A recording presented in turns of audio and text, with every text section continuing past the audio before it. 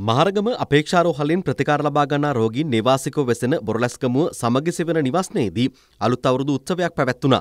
රෝගීන් මෙන්ම ඔවුන්ගේ පවුලේ සමාජිකින් මීට එක්ව සිටි අතර සමගි සෙවන නිවාසයේ නිර්මාතෘ ජෝඩ් නිකලස් පියතුමන් හා එහි කාර්යමණ්ඩලය එය සංවිධානය කර තිබුණා. මහනුවර අලවතුගොඩ ශ්‍රී විශුද්ධාරාම විහාරස්ථ දහම් පාසලේ සිසු සිසුවියන් සංවිධාන කළ අලුත් අවුරුදු උත්සවය අලවතුගොඩ ප්‍රාදේශීය සභා ක්‍රීඩාංගණයේදී පැවැත්වුණා. විවිධ ජන ක්‍රීඩා රැසක් ඊට එක්කිරීමටයි කටයුතු කර තිබුණේ. පාදුක්ක හා හෝමාගම ප්‍රාදේශලේකම් කාර්යාල හෝමාගම හා සීතාවක ප්‍රාදේශ සභා පොලිසිය හා යෞවන සමාජ බල මණ්ඩලය ජගත් කුමාර සිසු නැන පදනම එක්ව සංවිධාන කළ අලුත් අවුරුදු උත්සවය පාදුක්කේදී පැවැත්වුණා. ප්‍රධාන ආරාධිතයා ලෙස ඊට එක්ව සිටියේ පාර්ලිමේන්තු මන්ත්‍රී ජගත් කුමාර මහතායි.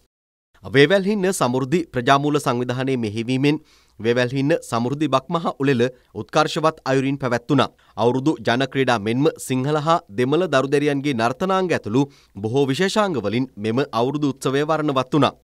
හෝකන්දර සිත්රු නර්තන පියසෙහි සිසු සිසුවියන් ආදි සිසුන් හා දෙමව්පියන් එක්ව සංවිධාන කළ අලුත් අවුරුදු උත්සවය හොරහේන සමගි ප්‍රජාශාලා පරිශ්‍රයේදී පැවැත්වුණා. සිත්රු බක්මහා උලෙල ලෙසයි ඒ නම් කර තිබුණේ.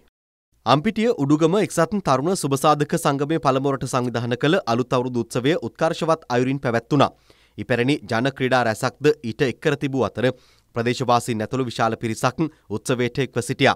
මහකන්ද හිඳගල එක්සත් අසුව තරුණ කැල සංවිධාන කළ බක්මහා උලෙල හිඳගල බස්නවතුම්පල අසලදී උත්කර්ෂවත් අයුරින් පැවැත්වුණා. වසර පහළවකට පසු සංවිධාන කළ අවුරුදු උත්සවයට ජන ක්‍රීඩා රැසක් එක් කර තිබුණා.